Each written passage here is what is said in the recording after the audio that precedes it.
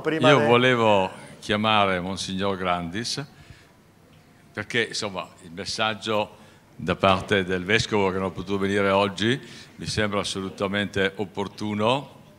in questa fase delle nostre premiazioni dove premiamo quattro realtà importanti del volontariato veronese. Sì, il mio compito in questi giorni è sempre di rappresentanza perché il nostro vescovo non ha ancora il dono della ubiquità e quindi mi incarica di far sentire la sua presenza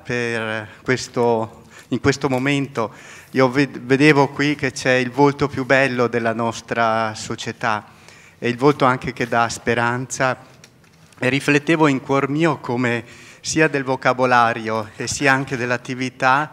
eh, molte parole e molte iniziative hanno nel pensiero cristiano il loro sorgente, per esempio il tema della solidarietà, noi lo utilizziamo molto per comprendere che Dio è stato solidale con l'umanità attraverso l'incarnazione. Quindi il mio compito è anche in questo momento in cui si fanno tante manifestazioni di festa, di riconoscimenti, di ricordare anche che il festeggiato è questo bambino fragile che la fede cristiana confessa come il Dio che si è fatto uno di noi, si è fatto solidale. Quindi a nome del Vescovo e anche di questa istituzione che è confessionale, ma in questo momento vorrei presentare anche il volto umano, il volto laico della Chiesa cattolica, perché il Natale è la festa dell'umanità, del Dio che si fa uomo. Vorrei augurare a tutti, alle famiglie, un santo Natale.